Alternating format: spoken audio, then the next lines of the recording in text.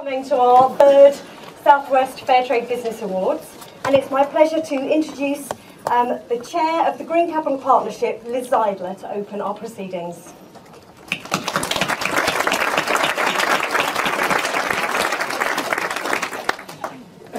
Thanks so much, Jenny, and it really is a, a, a real honour and privilege to be here um, to open this event. I was wondering whether I had a, a ribbon or something, but I'm metaphorically delighted to be cutting it. Um, uh, on a very personal note, I'm, I'm particularly pleased to be here because it was way back in the in the sort of mid 90s, I think it was. I was trying to work it out earlier, but I couldn't quite work it out to the day.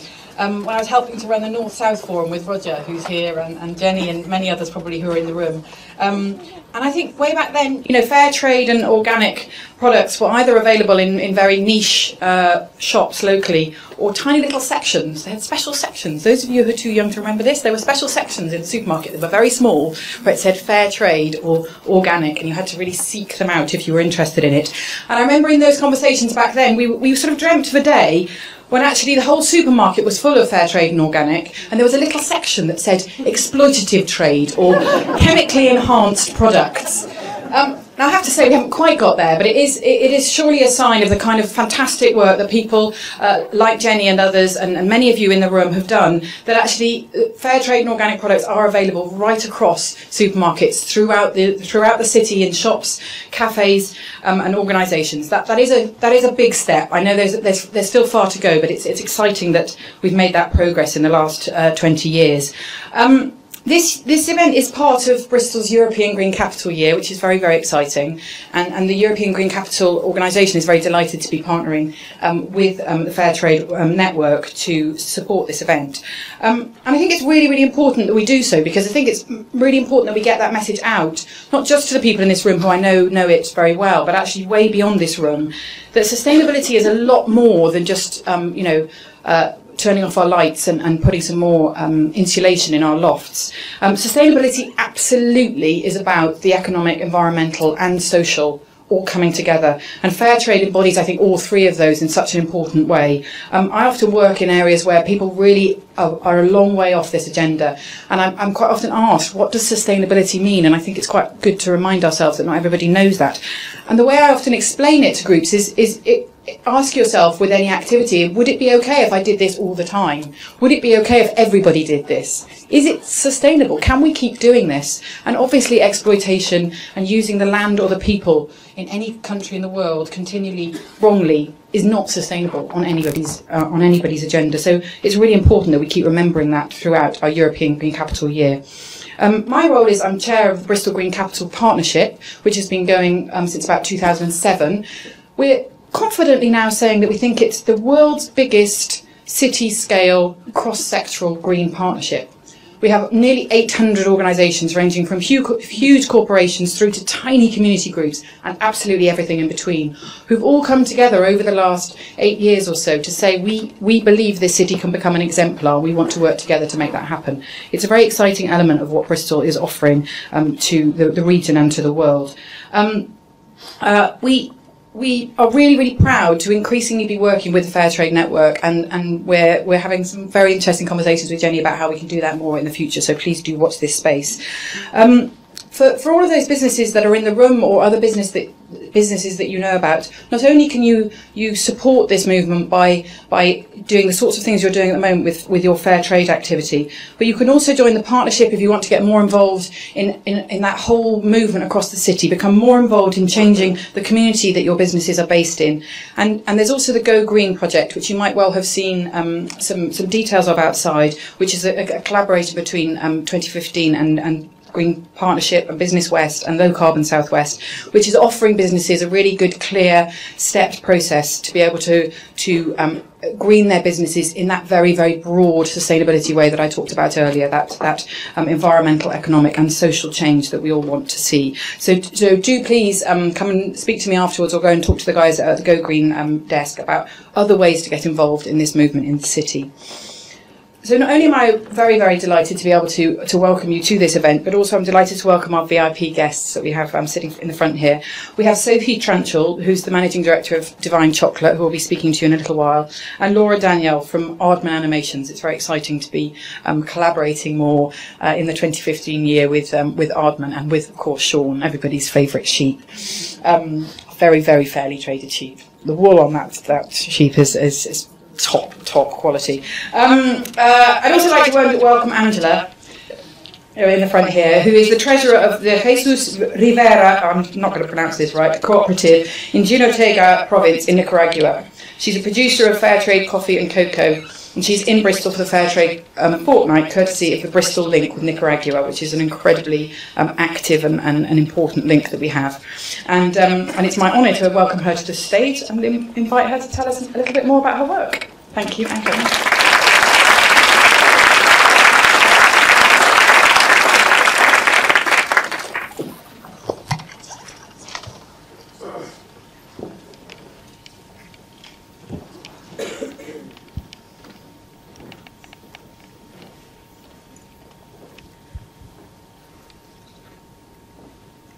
Buenos días, mi nombre es Ángela del Socorro Celaya Jarquín.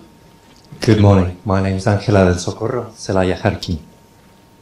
Vengo del departamento de Jinotega, municipio del Cuá. I come from the department of Jinotega, the township of El Cuá. Ellas son mis hijas, Yohaira 11 años y Ariana 1 año. These are my daughters, Yohaira, who's 11 years old, and Ariana is 1. Y esta es mi casa. This is my house. Y parte del patio de mi casa con gallinas, banano, café. And part of the garden next to my house with uh, our chickens and banana trees and coffee plants. Y esas son plantaciones de café. Hace dos años los entró una enfermedad que se llama la roya. This is a plantation of coffee um, two years ago, a disease uh, got into the coffee plants, a disease called rust, coffee rust. Este café ha tenido que ser arrancado y quemado. Those plants had to be pulled up and burned. Muchos productores han quedado sin café. A lot of uh, producers were left without any coffee. Y aquí tenemos nuevas plantaciones de café con ayuda de comercio justo. Uh, this is a nursery of new coffee plants uh, paid for with the help of fair trade. Eh, tenemos que esperar tres años para obtener nueva cosecha. We need to wait three years to be able to get uh, to harvest from those plants. Y tenemos mi plantación de cacao. Here we have my cocoa plantation. Hemos venido diversificando nuestras fincas. We've um, been diversifying our farms. Y tenemos la primera foto ahí es el centro de acopio de café y cacao de mi cooperativa con ayuda de comercio justo. The first photo is the collection center for coffee and cocoa in my um, in my cooperative, which was built with help from Fair Trade. Y estos son los tipos de chocolate que estamos produciendo artesanal. Uh, these are some of the types of chocolate that we're producing. It's handmade. Los jóvenes que trabajan son hijos de los productores. The young people who work making the coffee, making the chocolate, are the sons and daughters of the producers. Y tenemos los precios del cacao en comercio justo. These are the prices of cocoa uh, through fair trade. Y estas son plantaciones de, que hemos venido poniendo entre medio del café para evitar los deslaves de nuestras tierras. These are plants that we've started putting in between the coffee plants to avoid the soil being washed away. Y ahí podemos observar los caminos de nuestra comunidad cuando están las temporadas de café con mucha agua. Here you can see one of the roads around the community in our communities when the weather's bad during the coffee uh, harvest season, the roads um, deteriorate significantly. Y tenemos escuelas de las comunidades con muy malas condiciones, pero con ayuda de comercio justo hemos venido mejorando. Here you can see one of the local schools. Um, they're not always uh, in the best um, conditions are not always the best, but with the, health of, with the help of fair trade, we've also been able to um, improve them over time. Y tenemos, con ayuda de comercio justo, se promueve la salud y se atienden a más de 20.000 mujeres para prevenir el cáncer. With the help of fair trade, we're also able to attend to health issues. With the help of fair trade, we've treated 20,000 women in the prevention of cancer.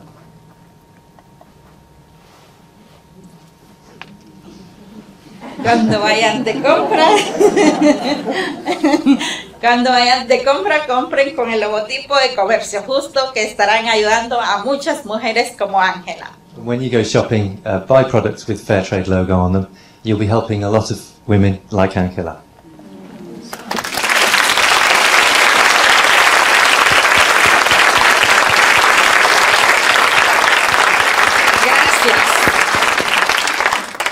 So much, Angela, and also to Nick for interpreting. That was fantastic.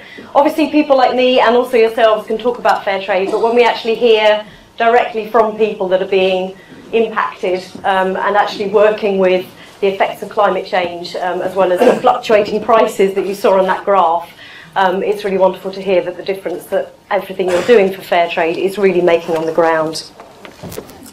Um, just a little reminder that if you wanted to tweet, good reason to get your phones out, please do, um, live from the event today. Um, the hashtag we're using is SW Fair Trade Awards. So SW, obviously it's Southwest, SW Fair Trade Awards, if you're able to tweet, that would be wonderful. Um, so please do that. Now we're very happy to have with us today, not one, but two guest presenters who have worked together on a fabulous fair trade collaboration to produce the iconic Shaun the Sheep Easter egg. So first of all, I'd like to welcome the Managing Director of Divine Chocolate, Sophie Tranchell.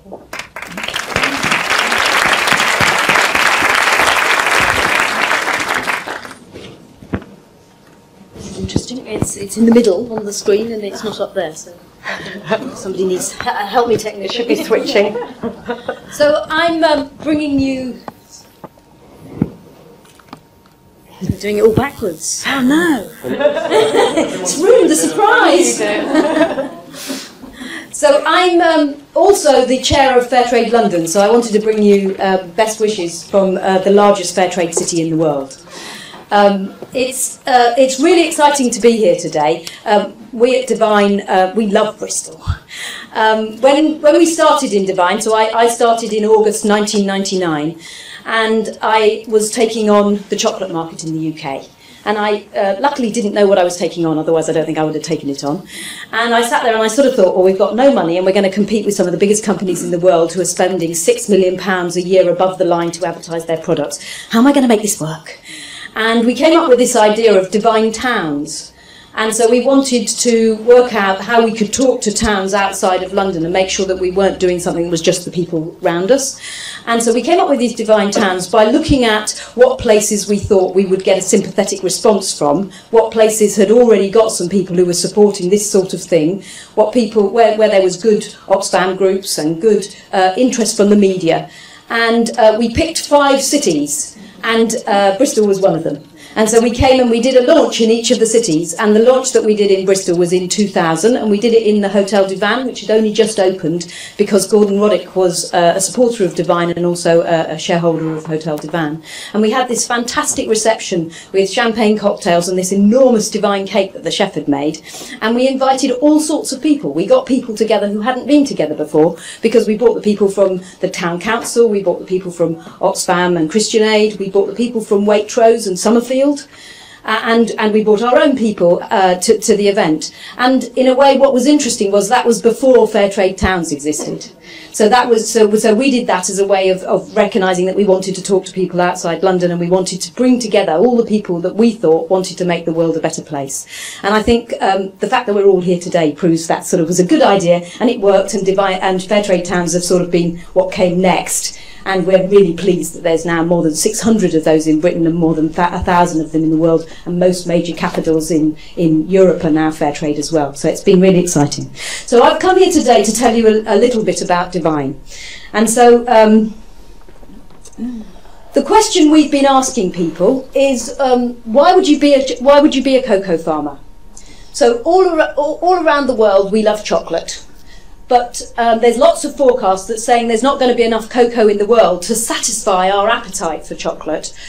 And so that the problem is that cocoa farming isn't, isn't uh, well enough remunerated for cocoa farmers to want to carry on cocoa farming. So those of you who've got children, when they come home and they say what they want to be, and you sort of go, oh, oh that's a bit, bit risky, isn't it? They're not going to have a good job there. It's not going to be a job, job for life. That's not going to be able to give them the lifestyle I'd like. I certainly think if your child came home and wanted to be a cocoa farmer, you'd be kind of a bit worried, really. So what we're saying to people is trying to make them think that thought, is think what would it be like to be a cocoa farmer. So if we want cocoa farmers to carry on cocoa farming, if we want to carry on enjoying chocolate, then we need to make sure that cocoa farmers are paid enough to be able to invest in their farms, their families, and have a fairer share of the value that they're helping to create. So Divine's story is the amazing story of cocoa farmers who voted to set up their own chocolate company. That's Beatrice Ashanti, on with her co- cocoa table. So that's her growing the cocoa. That's her drying the cocoa beans in the sun. She has to do that for seven to ten days, and it's very important to move them and separate them so that they don't get stuck together. And the way that she does that makes a difference to how the cocoa beans taste and therefore what the chocolate tastes at the end. So the work she's doing there is, is important work for you to enjoy your chocolate. So Kuapa Kokoo Cocoa started, their story is older than our story. They started back in 1993 and they're the cocoa cooperative that owns 45% of Divine. And so they started in 1993 and they're an interesting story because they're a positive story of liberalisation. And so that when uh, the World Bank and the IMF loan countries money, they make conditions. And the condition in Ghana was that you needed to privatise your key economic drivers. And cocoa farming was their biggest agricultural export and their biggest foreign income generator. And so they had to liberalise that. And that was an opportunity to set up a farmers' organisation run by farmers for farmers. And a charismatic farmer saw that opportunity. And so back in 1990, 1993, he set up the Farmers Cooperative with, 20, with 2,000 members in 22 villages. And one of the first things they did was invest in buying weighing machines, and it meant that farmers could trust the transaction for the first time. And it meant that very quickly they developed a reputation for being honest and efficient, and sort of they then had this rush for membership. And so now they have 80,000 members organised in 1,257 villages across the cocoa growing belt in Ghana, organised in 58 districts. And so this is a they're, they're, a, they're a significant player. They're growing uh, 50,000 tons of cocoa. That's more than 1% of the world's co- uh, cocoa. Cause, yeah, so that's they're, they're, they're a serious player in cocoa. So they, they, they're a democratic organisation and uh, they have a fantastic AGM where two people come from each village, so it's a really big a- AGM, and they send two people to make sure that women get to have a say, so one of the people ha- has to be a woman. And in their AGM in 1997, they voted to set up a chocolate company. And so in 1998, Divine Chocolate was incorporated. And um, our mission is to grow a successful global farmer owned chocolate company using the amazing power of chocolate to delight and engage, and to bring people together to create dignified trading relations, thereby empowering producers and consumers. But we're, but we're more than fair trade. So fair trade is a certification that talks about what, where the ingredients come from, what the working conditions are of the people who are working to grow it and how much they are paid. We're the only fair trade chocolate company that is actually significantly owned by cocoa farmers. Fair trade delivers reliable income and funds to invest in better living and working standards, but company ownership delivers so much more. It delivers profits, knowledge and power, and I'd like to tell you a little bit about all of those things. So the thing that's important about fair trade is that the farmers that we work with are organised, and being organised helps you change your lives. And so I think that's actually, to me, you know, 15 years on, I think that's the thing I've learned, is that that's actually the biggest asset of fair trade. Because once you've come together and you've recognised yourself as an organisation, actually the world's your oyster. So the thing about the income that the farmers get is that they decide how to spend that money. And it was very lovely hearing about the, the decisions in Nicaragua, and certainly the, the things that they've done were very impressive, the, what, what, what Angela had just said.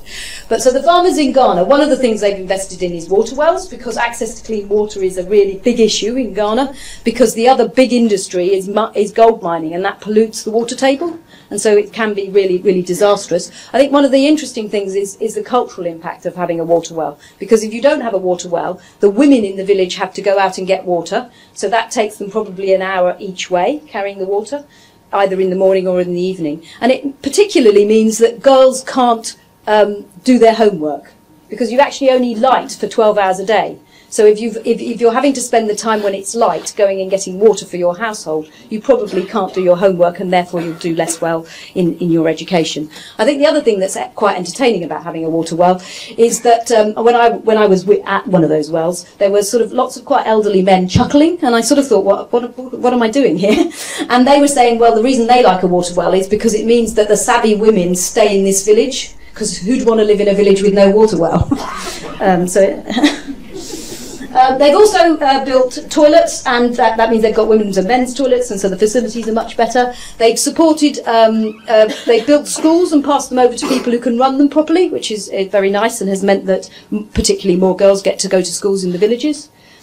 And then they've done quite a lot of interesting work on income generation schemes, so where they're working with women to build up their business skills so that they can sell other things than cocoa. So that they might sell um, palm oil products that they're making, they might sell bread, bread that they're making, or they also sort of cultivate things like snails and they grow them to they're about this big.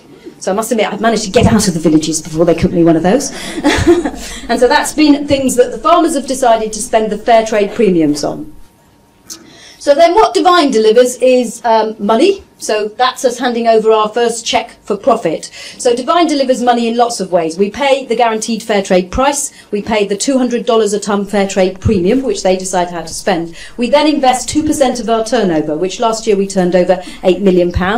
And so we're investing £200,000 in, if that's right, is that 2%? I'm hoping it is. Um, in, in working with the farmers and recognising that if you're going to try and run a big business across such a big area in a place where there isn't access to running water, there isn't electricity, there isn't access to computers, how do you run a democratic organisation and a democratic business in that way when the literacy levels are as low as the illiteracy level is 65% among men in, in Ghana, in, in the cocoa growing area? So that sort of challenge of running a democratic organisation becomes very big big.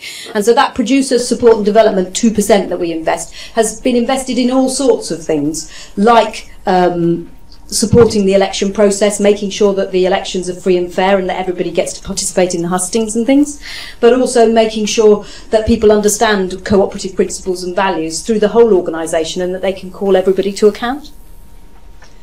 So then another thing that uh, company ownership delivers is knowledge. And so um, that's a nice picture of children in, in, in Bristol. So that's when cocoa farmers came and visited Bristol and that they were able to share their experience. And one of the things that the cocoa farmers uh, see when they come here is just how much chocolate we eat, how much we love chocolate, but also how much we eat all the time, uh, and, and sort of how it, it makes them feel much secure, more secure about their ability to sell the cocoa because we're not going to stop eating chocolate anytime soon. And so there's a sort of sense that there's, there's, a, there's a market there in the future. The, the other pictures I've got here is that the, the first one is that one of the schemes that we've supported in the last year is we did a big piece of research which was looking at why there were, so of the 80,000 members, 35% of them are women, which is a quite impressive level of, of membership. Um, but there is a lot lower level of women participating in the hierarchy, and we wanted to see what was the barriers to that. And what we found was that the fact that they had a much higher level of illiteracy meant that they weren't managing to take up the more important posts. And so the level of illiteracy among women is 85%. And so what we've what we've done is set up a pilot scheme of um, literacy lessons. And so it's literacy and numeracy, and they're having two hours three times a week, so they're really intensive. And we're working with the uh, government department of non-formal education, and so it's a really interesting scheme to try and get women to participate in the hierarchy. And then the, the picture on the end here is a woman who's participating in a model farm program. Uh, so she's Felicity Mensah. And what we're doing is looking, there's lots of work done where the industry, the co- chocolate industry, wants to make sure that there will be cocoa in the future. And what they seem to have sort of missed in that is that remunerating farmers properly is probably the best way to secure that. And so they've done lots of work on planting new trees and trying to increase the yield of the land, but they're not looking at whether that actually increases the income for farmers. Because if you increase the yield by doing lots of work and having to pay people to work and having to pay for industrial inputs, then actually your total income might be less. So what we're doing is we're doing a program where we're comparing and contrasting organic farming agroecology and um, conventional farming to see which one actually delivers more income for farmers. And it's we've just completed the first year of a three-year pilot program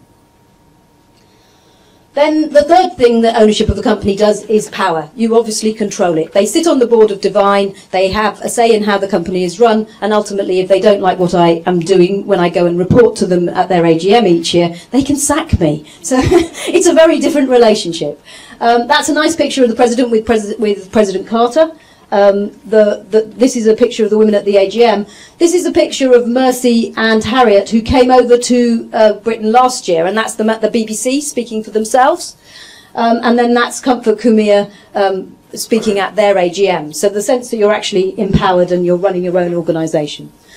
So we, the answer to the question, how will, co- will cocoa farmers carry on cocoa farming, is that cocoa farmers will want to keep on co- growing cocoa if they have a sustainable remuneration, if they have an opportunity to add value to the cocoa that, that, that, that's in the chocolate. If they're given the skills to adapt and diversify and to improve the quality and yield of their cocoa, if they're part of a community all pulling together, sharing facilities, knowledge and accountability, if they're actually in control of their own businesses.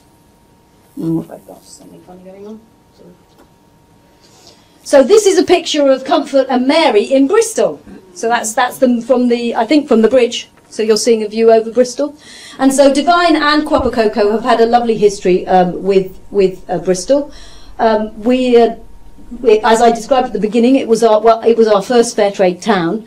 Um, we're really excited that you're the you're having your you're the European Green Capital. We're also excited that you've been a fair trade city for ten years, and we we I certainly will be coming to the conference in the summer, which where you're hosting the international fair trade towns. So we're we're we're we're we're, we're celebrating with you the success of Bristol as a place that's sort of leading Britain in in showing how business can and should be done. And so together we can make cocoa farming worthwhile, we can empower a future generation of cocoa farmers, and we can deliver a future where chocolate can be celebrated and cherished by everyone, which is the mission of Divine. So thank you very much.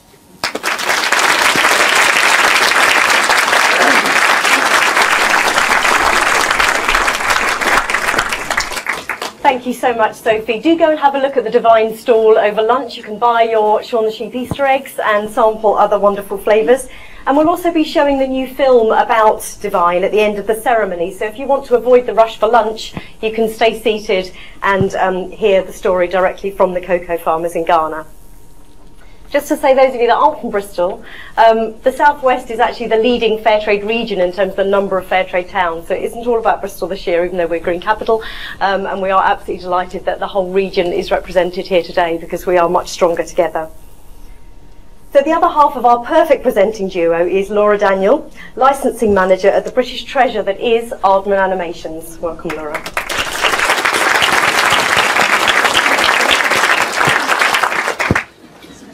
So, hi everybody. Um, so I'm here just to take you through sort of our thought processes of why we wanted to work with Divine on our Shaun the Sheep Easter product. But first off, I just want to say that really what Sophie has just said is exactly why we wanted to work with Divine. Um, they do to have Shaun be associated with you know what they're doing and all the really amazing work that they're doing is fantastic, and it kind of makes us feel like we may be contributing in some way to the good work that Divine's doing. So. Um, so, as Jenny said, I'm the licensing manager at Aardman. Um, and in my role, um, I seek out partners that we can work with to develop merchandise for our brands. A lot of these companies I do already know, and they specialise in licensing. Um, but I'm always on the lookout for new and different ways to commercially grow our Aardman brands, such as Wallace and Gromit and Shaun the Sheep, which you might have heard about recently. Um, we do try to develop products that really do fit our brands. And as part of the Shaun the Sheep licensing program, specifically around the movie that's just released, um, we wanted to look at Easter themes and spring themes. Um, as you can see, uh, part of the, the brand is um, he lives down on a farm, and it's you know very spring, spring lamb, and spring and Easter do crop up a lot in all of the series that we release. We're up to our fourth series now on CBBC. Um, so, knowing what a tough market that licensing confectionery was, um, made me realise that we need to come up with something rather special to be able to cut through the cookie cutter approach that people have to licensing. Um, this is when a brand is shoehorned into a specific product or shape. Um, they don't kind of develop the product with the brand in mind, they just put the brand onto the product. And we know that Shaun doesn't work if you try and do that because we can't compete with the likes of the juggernauts like Disney and all of those really you know, massive brands that can just work and cut through that. Um, so you may have heard of a small brand called Frozen. So you know that's the sort of thing that I'm saying about you know we can't compete with the likes of Frozen. Though I don't think it's going to take off anyway. But um, so which is when we decided to approach companies like Divine. Um, we wanted to work with a company that was known for its quality and also had its similar values to Aardman. Um, the world of farming essential, obviously, to Divine and also to Shaun, um, but maybe in different sort of ways. Um, Shaun loves nothing better than getting down to mischief on um, in his farm, in his home on uh, Mossy Bottom Farm, um, much to the farmer's frustration. And also sustainability does feature quite a lot in each episode. Um, for example, Shaun will find what, what's lying around on the farm, like old drain pipes and stuff like that, and make things to get up to mischief with, like playing football and that kind of stuff. So they, they recycle and re reuse things that they can find on the farm. Um, so partnering with Divine has enabled Shaun to have presence in the confectionery marketplace while maintaining our brand values of quality and fairness. So each Shaun episode usually ends up with Shaun or the good guys winning out in the end. Um, we've also had a lot of fun along the way. Um, we've developed a really great, bright and engaging product. I don't know if you've seen the product out there on the Divine shelf, but um, those eyes really stand out and it's a really, really bright packaging. And we've worked really, really closely with Divine to develop something that fits in with what they wanted and also what Shaun wanted. Um, and we've also added the Fab Shaun headband as well, which gives a really great sort of humour to the product and a really good USP as well that's not really seen out there in the, in the Easter egg market. Um, so now all we needed to do was to get someone to stock our product. Um, so picking our battles, we decided that Waitrose would be a good place to start. It's a British retailer and Aardman's very, very British. Um, and they also go some way to support fair trade. Um, they stock a wide range of their own label and branded fair trade products, and who also ensure that they have a positive impact across the range of their supply chains. Luckily, the combination of Divine's quality fair trade chocolate and the sense of humour partner with Sean brought to the product made the buyer say that it was a no-brainer for them to stock it. So I'm now going to have to do my blatant plug. Um, you can purchase your Divine the Sheep Easter egg at all large Waitrose stores around the UK. um, and to finish, I'd like to give you some light relief for the serious business of the awards and to show you the trailer to the the Sheep movie that is in cinemas now, my second blatant plug. So.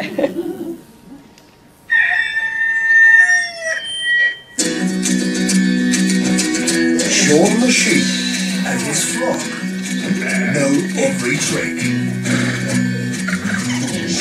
They're having a good time.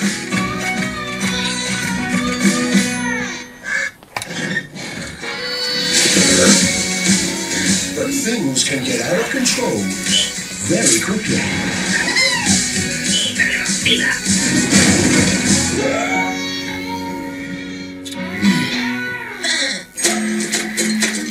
Now, to get the family back together, they'll need a little willpower and a lot of teamwork.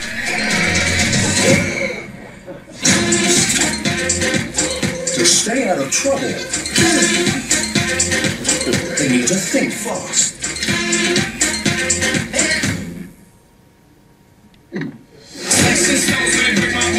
Look sharp. Walk this way. and always keep their cool.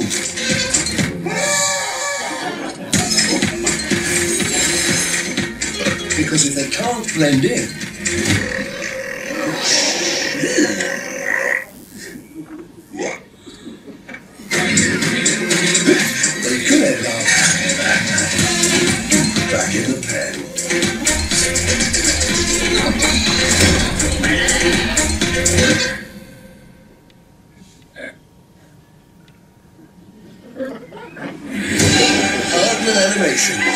creators of Wallace and Gromit and Chicken Run present A Great Escape to the City.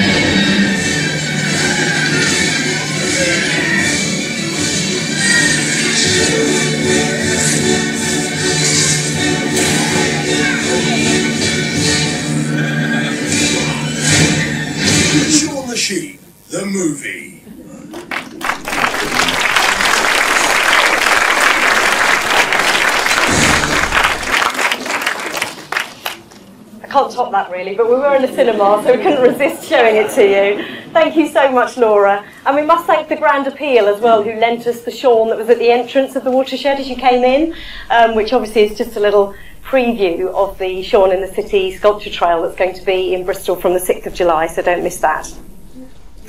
So now we come to the award presentations, what you've all been waiting for.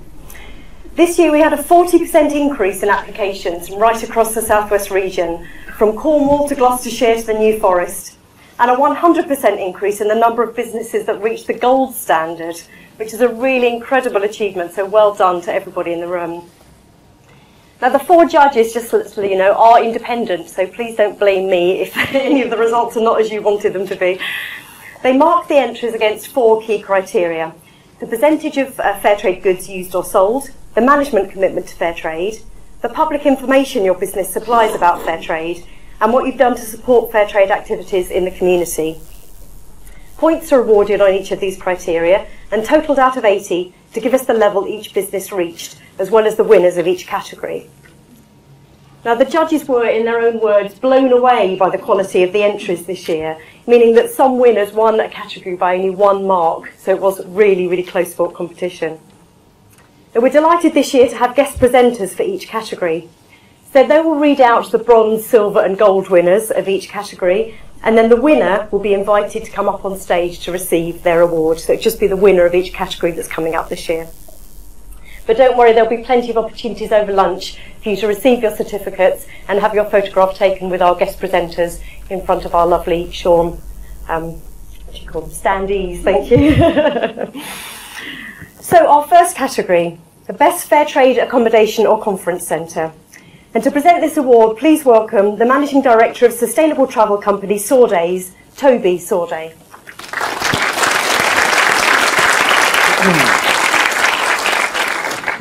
Well, what a privilege to be here amongst people who are doing such important work with such conviction and, uh, and a sense of humour too. Um, so the winner of the Silver Fair Trade Business Award is uh, Commonwealth Cottage.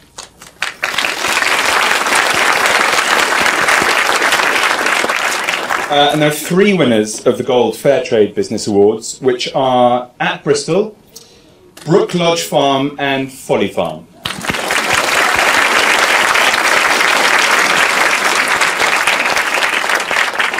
And now for the winner.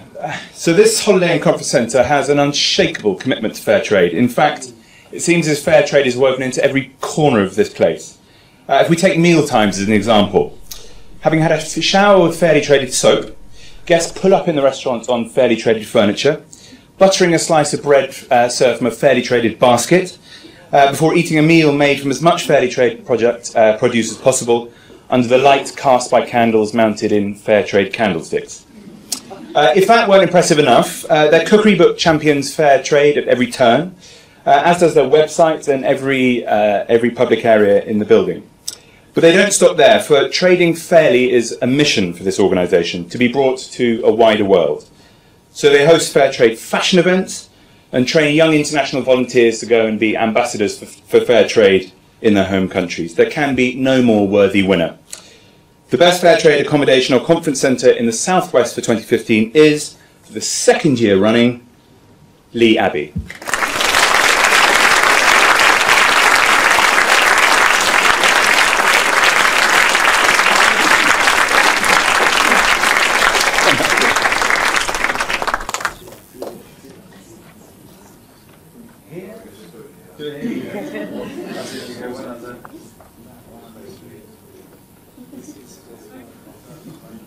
this is how you should. Watch and learn.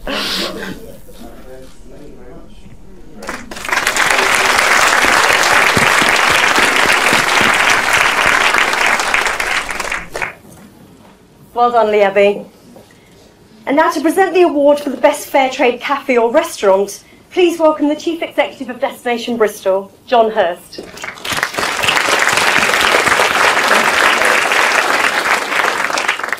Well, thank you very much for inviting me. Um, I'd just like to say a couple of things before I announce the awards. And uh, this time next week, funnily enough, I will be doing the opposite of you, Angelo. I'll be in another country with a translator speaking on my behalf. And I hope I do as well as you because I'm speaking in Madrid to promote Bristol to an audience of uh, Spanish people, obviously. But uh, so uh, I have a, the interesting idea of working with a translator. So well done. That was really good and given me lots of good examples as to how to uh, how to do it. And uh, Sophie, I, I can't carry on without saying something about you because I have a problem. Um, since I did a cycle ride, I don't know if you realise, but your uh, chocolate is often given out at the end of cycle rides. Can you stop that? Because um, what happened to me, I did a 100 mile cycle ride and then the goodie bag was full of uh, divine chocolate. So I just devoured it and uh, addicted to it now, really. And so, how do you keep so slim, really? I'm not sure. Yeah, well, I should cycle more, I think, really. And uh, and Laura, I was with your team up at uh, with Peter Lord yesterday up at uh, with a delegation with from Visit England, looking at the fantastic uh, setup you have there, Aztec West. It was just brilliant, and uh, I actually held a Shaun in my hand, you know, which was uh, fantastic. So, anyway, you didn't ask me to do all that, did you? but you did say I could say a few things, uh, but I think it was probably meant about other situations. But anyway. Ladies and gentlemen, I've been um, asked and I'm honoured to announce the best fair trade cafe or restaurant. And we have a, a few uh, here, so I'll just read them through. Um, the winners of the Silver Fair Trade Business Award Just Ground, Oats Healthy Living Cafe, Redgrave Theatre, The Ark, The River House, The Swan, The View at North Bristol NHS Trust, and obviously the watershed.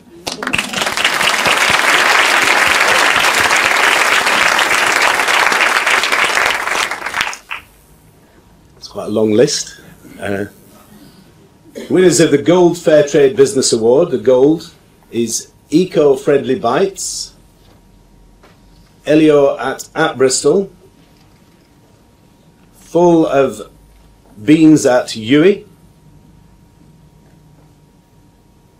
Faz Cafe, am I pronouncing that right? Yeah. University of Bristol Cafe, and the Source Cafe.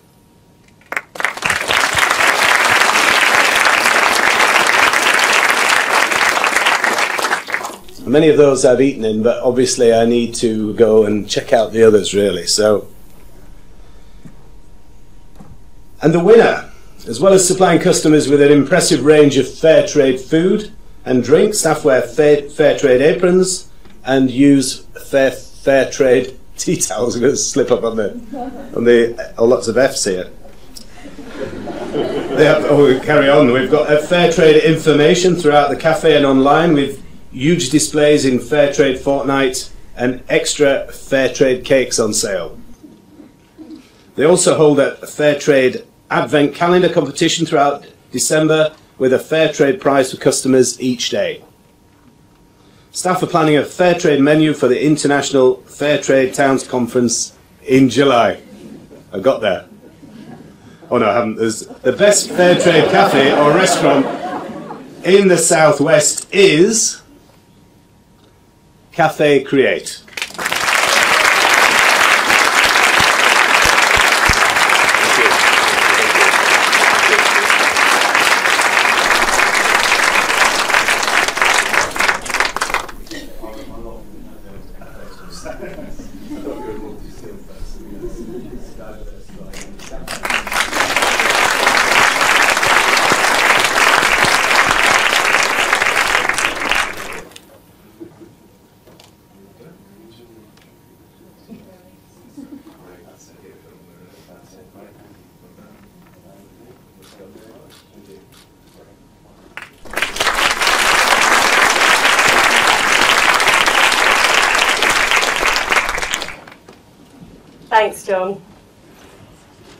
We come to the award for the Best Fair Trade Office. And I'm delighted to welcome the Managing Director of Triodos Bank to present this, Charles Middleton.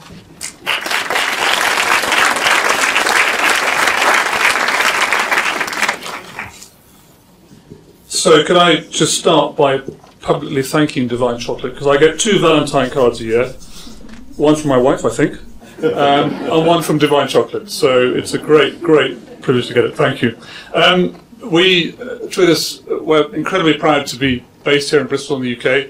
And we're also incredibly proud to work with fair Trade really since we started and, and with some of the, the early pioneers in fair trade.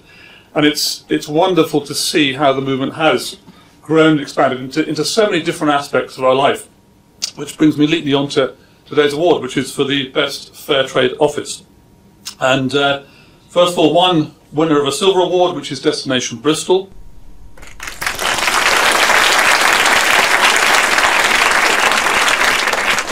And then uh, several winners of a gold award um, Burges Salmon, Business West, Create Centre, EM Highway Services Limited, Grant Thornton, Green Hat Design, and Minuteman Press.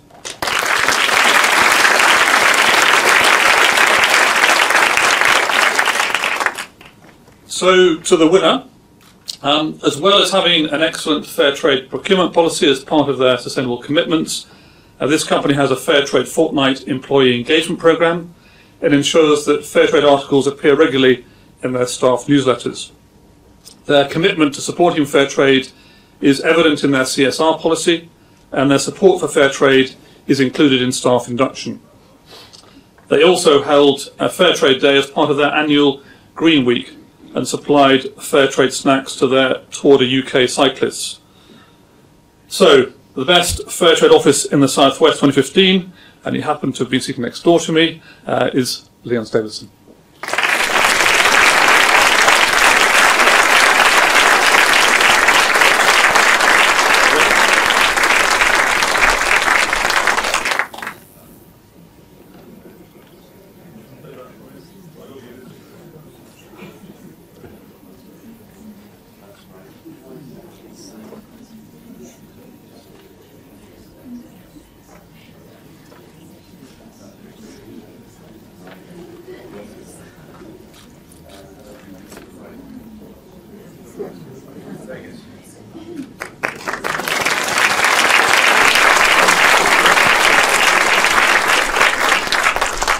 You, Charles, and well done, Lyons Davidson.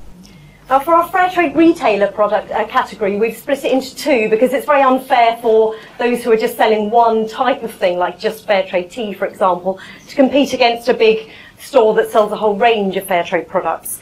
So, first of all, we're coming to our award for the best fair trade retailer of a single product. And to present that, please welcome Robert Halton from one of our valued sponsors, Burges Salmon.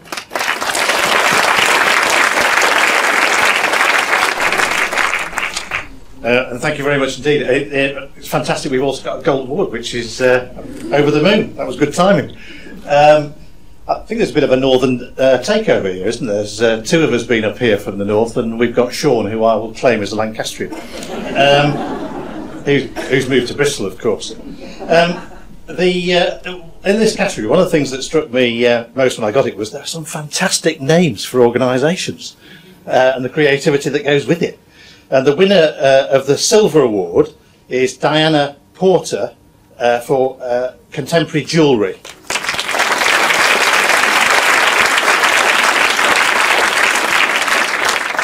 And the um, the winners of gold awards, and there's quite a, a big group here, which uh, again is fantastic. Uh, Cake, um, Christina Oswin Jewellery, uh, Erica Sharp Fine Jewellery, Fair and Square Chocolate Brownies. I like chocolate brownies. Um, I, I've got an admission to make. I had three of those before I came in here. Um, uh, Fish out of uh, Water Gallery. Uh, good as Gold uh, Jewelers. I clearly wasn't good as gold having three of them. Anyway, and the Natural uh, Beverage Company.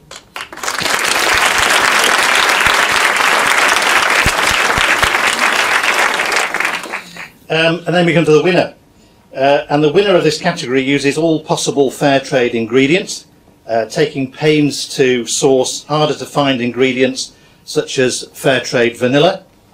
All their labelling, uh, product leaflets, brochures, website have a fair trade uh, logo and they promote fair trade on social media. They're an active member of their local uh, fair trade uh, town group in Devon and take part in many markets and events to promote fair trade. At this point, I wanted to open an envelope, so I'll pretend I'm opening an envelope because I've always wanted to open an envelope.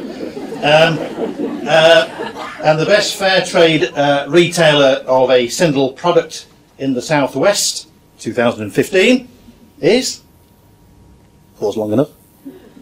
The Tiny Marmalade.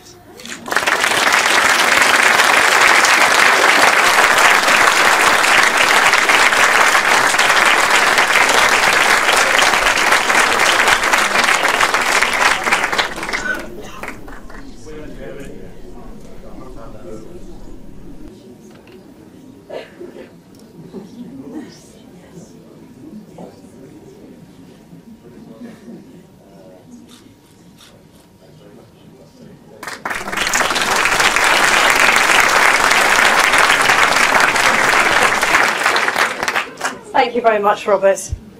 And now to present the award for the Best Fair Trade Retailer of Multiple Products, I'm very pleased that we have Chris Pay from Shared Interest Foundation who are sponsoring our lunch today. Thank you, Chris.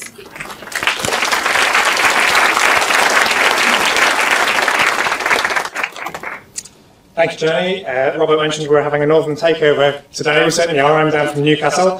Um, uh, but we're, we're delighted to, uh, to be supporting these awards again this year. Um, so on to presenting uh, the, the award for the Best Fair Trade Retailer of Multiple Products. This is, I understand, one of the most uh, hotly contested uh, categories. Um, so you'll all be uh, listening carefully, I'm sure. So straight on to the winners of the Silver Awards, uh, and there's a few of them.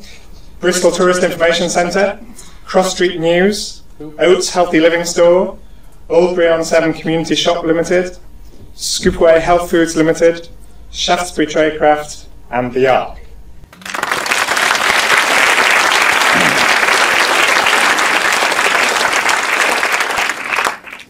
Uh, and winners of Gold Awards, also a lot of these, Christian Sustainable Supermarket, Fairs Fair, Green Life, Harvest Natural Foods, Here and Far, Karma, Lee Abbey Shop, Poole Grammar School, Pukka Herbs, The Real Food Store, University of Bristol Source at the Hub, UE Student Union Shop, Voyage Fair Trade, and Wild Oats Whole Foods.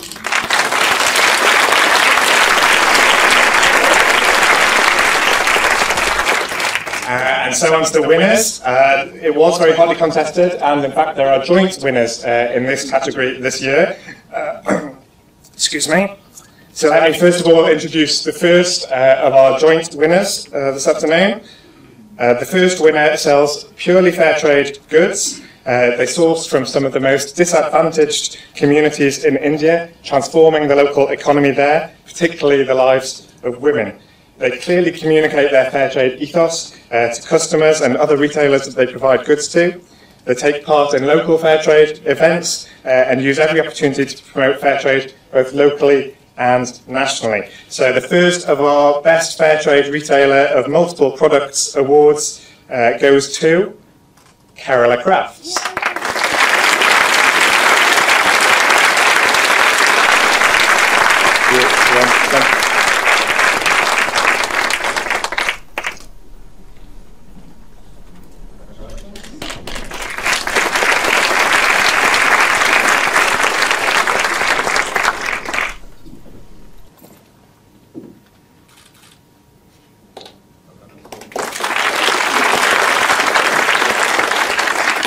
And to the second of our winners uh, this afternoon. So the second winner uh, sells an extraordinary range of fair trade foods, health products, and gifts. The company and staff are fully committed to fair trade and hold community events and promotions to improve customer awareness all year round, but with a specific push uh, in Fair Trade Fortnight. Potential suppliers to this company have to demonstrate their own commitment to fair trade before the goods can be sold in their store. They've been active in promoting the synergies between organic and fair trade and treating all farmers fairly. It's those F's again, isn't it? Uh, through high profile social media and campaigns. So, the second of our joint best fair trade retailer in multiple products in the Southwest 2015 is the Better Food Company.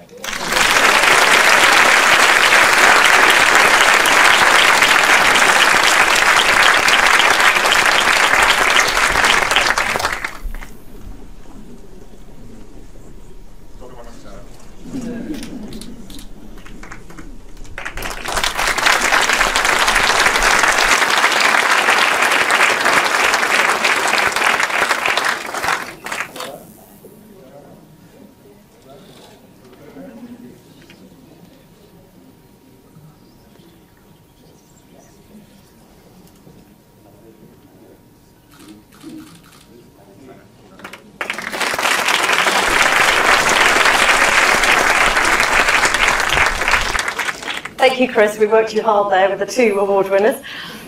Now we come to the award for the best fair trade university or college. And to present this award, I'd like to welcome back on stage Liz Zeidler, Chair of Green Capital Partnership.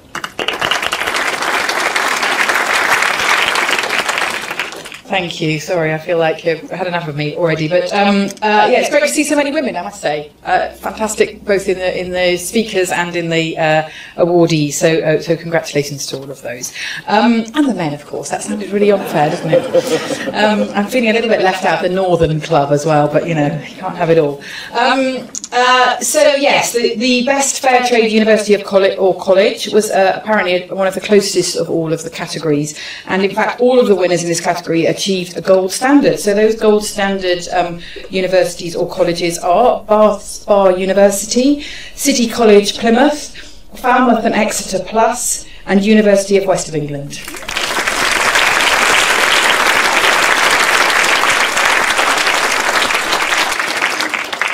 Um, and the winner of this category, and I feel like it's possibly a bit of a stitch up because I'm a double graduate of this one, but um, I, I, didn't actually know that when I agreed to do this. Um, uh, sells an impressive range of fair trade products in their shops and cafes and uses all available fair trade products in their halls of residence and event catering too. The university bars use fair trade wine as their house wine, and there's also it is also used at all student union socials. I think it's very appropriate. My memories of university was it was about learning and drinking mostly. So um, so uh, hopefully they're learning about fair trade whilst they're quaffing their fair trade wine. Um, all catering staff receive annual training on fair trade, and the manager is a fair trade ambassador. As well as a year-round fair trade events and promotions, the university holds special events for Fair Trade Fortnight, including hosting a fair trade producer last year. The university hosts Bristol Fair Trade Network meetings and is helping plan the International Fair Trade Town Conference in Bristol this July. So the best fair trade university or college in the southwest in 2015 is the University of Bristol.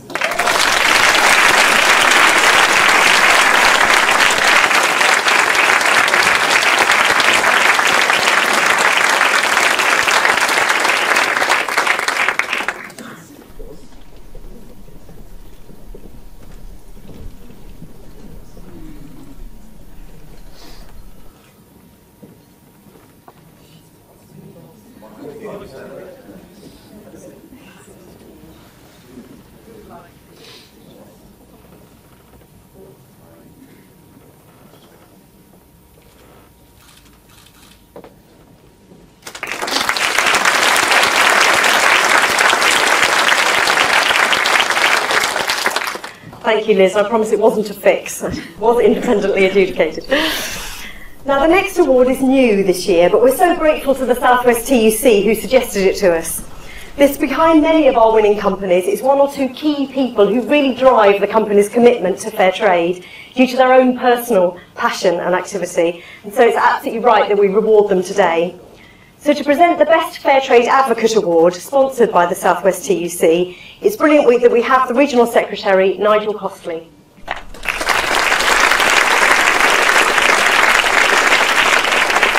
Thank you. Thank you very much, Jenny. Yes, we're, we're here to celebrate uh, the development of change. We, we, we want to change people's lives around the world for the better. And yes, of course, we want and welcome leadership from the top, but we need people to champion that from within organisations as well, promoting, arguing, agitating for fair trade. So I'm delighted, on behalf of all the unions in the Southwest, uh, to present this new award for those a- advocates of fair trade. So, the Silver Award winners. Is it coming? Oh, Huel George at Plastic Butter Productions and Emmanuel Brownlee at the Schumacher Institute. Emily, sorry.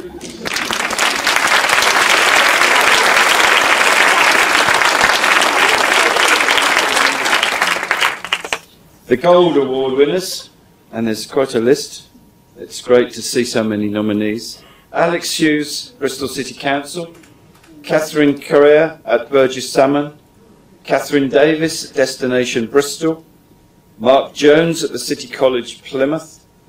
Mark, Mike Todd at Cool Schools. Shelley Bartlett at Lyons Davidson. And Pixie Rowe at Lee Abbey. Congratulations.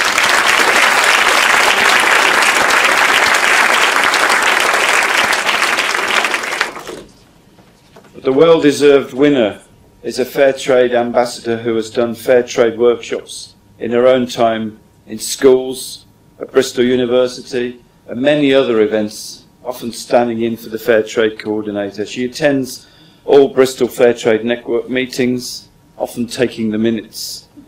The person who controls the meeting is often the person who writes the minutes. She's on the steering group for the International Fair Trade Towns Conference, taking off time to attend. She's organising Make Sunday Special and Fair Festival in July to conclude with the international conference. The winner has headed up Make Money Count team, planning events for Good Money Week, and actively promotes fair trade through her own social media. Her nominee, nominee says of her, We welcome this opportunity to nominate her for this award. We'd like to be able to show her how grateful we are for the time and effort she gives to fair trade. She not only does stuff, but she's also the sort of person that radiates enthusiasm and positivity, and these are the great attributes to expand fair trade. So I'm delighted to say the best fair trade advocate in the Southwest 2015 is Elaine Ashley.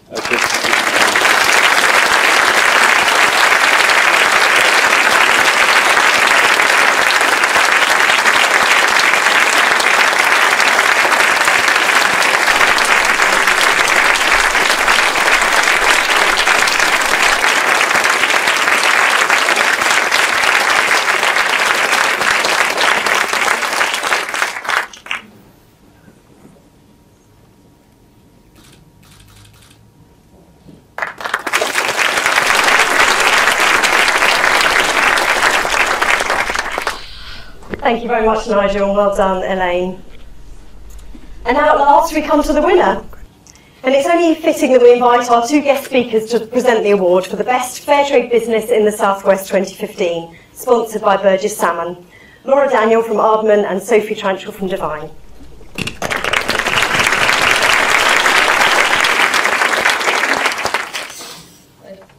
The winner is a clothing company which has fair trade at the heart of their business, offering a range of school and workwear garments only made with fair trade cotton and ensuring fair trade standards at all stages of the supply chain.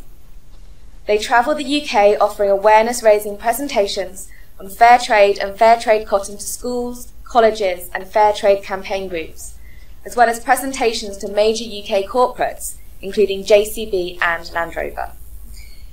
This company visits schools with their inspiring factory manager when he's in the UK and bring the factory managers and workers into school assemblies and classrooms through Skype to bring these important issues to life for students.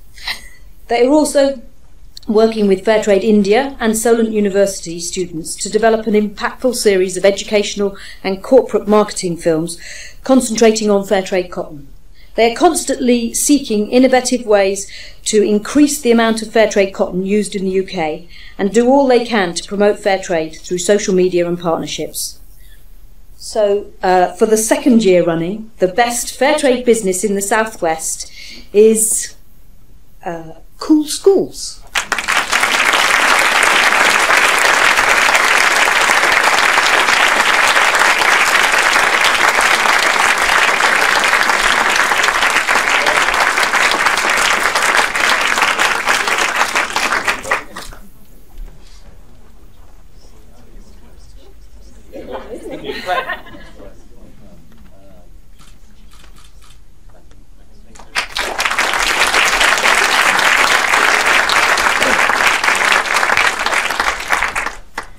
Thank you very much, Laura and Sophie. Now, we'll be working them hard later because we will be um, presenting everyone else with their certificates through in the lunchroom later um, in front of the Shauns, and there will be um, lots of photo opportunities out there. So please do uh, come and get your certificate and have your photograph taken.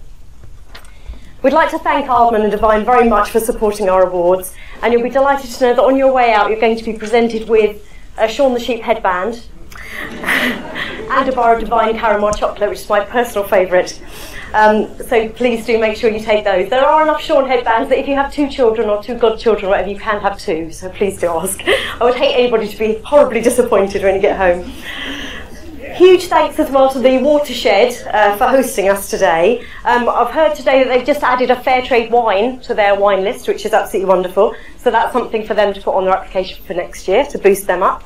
Um, and I hope that you have all gained inspiration from hearing what our winners have been doing. Um, it's just an amazing example, really, of how a business can be run for all the reasons that you are personally in business, but including fair trade as part of your ethos. So thank you very much.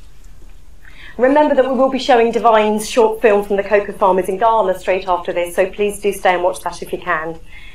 And a huge thank you to all our sponsors because we really, really couldn't run this awards ceremony without them. So the Southwest TUC, Burges Salmon, Destination Bristol, and finally the Shared Interest Foundation who are sponsoring our lunch. And so to close our ceremony today, I'd like to invite Chris Pay to come and tell us of other ways that your businesses can offer vital support to fair trade farmers. Thanks, Chris. So I wanted to um, say thank you very much for organising such a marvellous event. So this is. Thank you.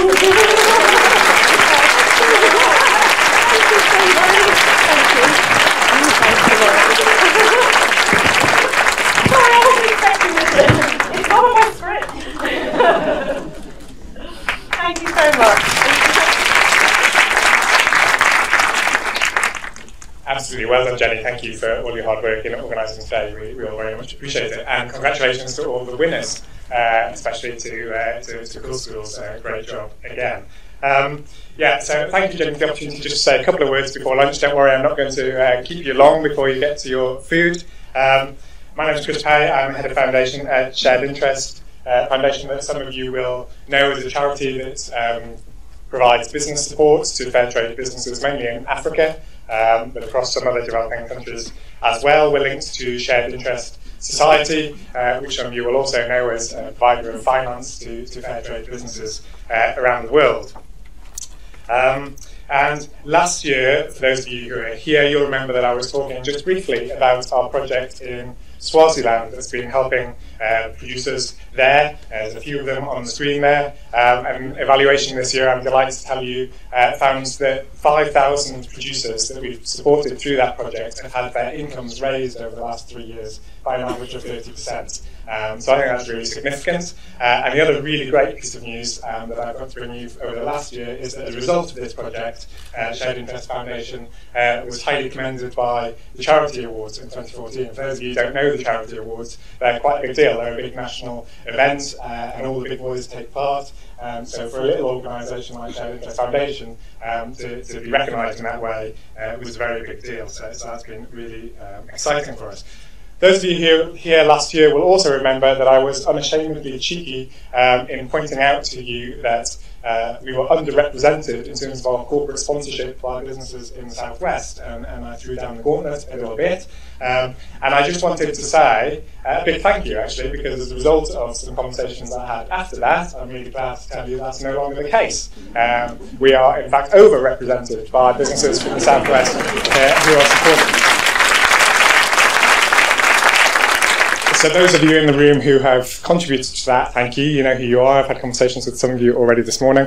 Those of you who aren't, then obviously do feel free to come and have conversations with me. We would be delighted uh, for your support. It really does make a huge difference. Uh, and one of the things that that support has helped us to do over this last year is to invest in our work uh, to provide financial management training uh, to co-ops across East and West Africa. Uh, we've done some great work this past year in that. Um, which, if you want to know more about, come and chat to me over lunch. But cutting a very long story short, we hoped we might be able to get a million pounds worth of finance out to small fair trade co-ops across Africa. Uh, and in fact, over the last two years, we've managed to get two million pounds uh, of finance out. So it's been a great result, and we're very grateful.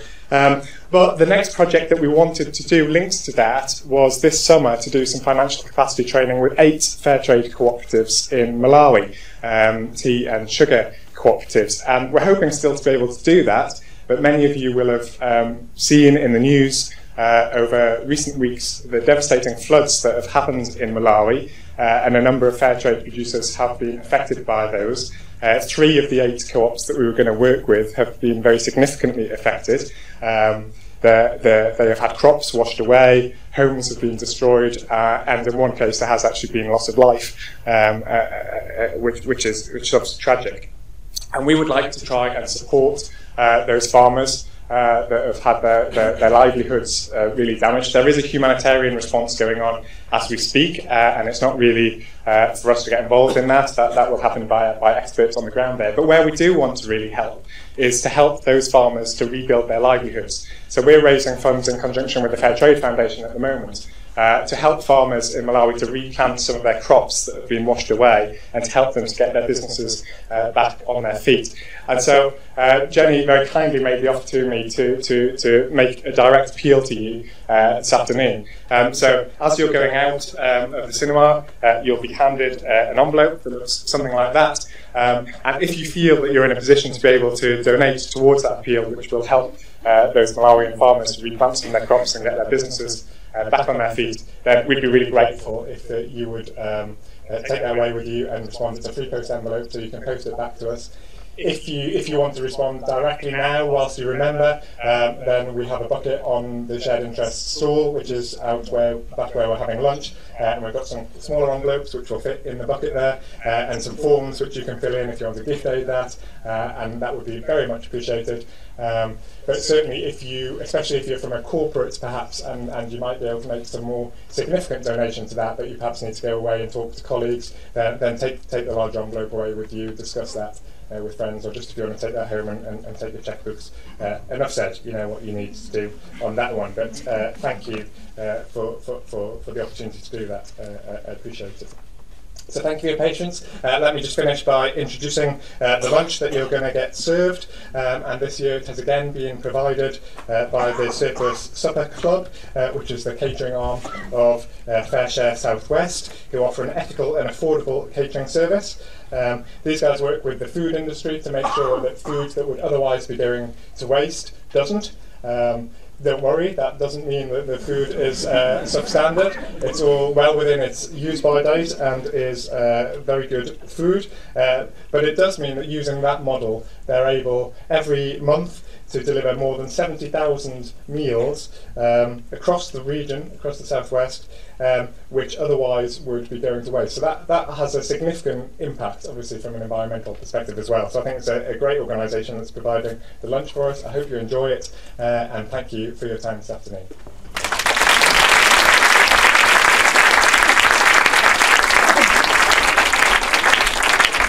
Thank you very much. Please either stay and watch the Divine film or make your way um, and have some lunch. So whichever you prefer to do immediately. Thank you so much for being here.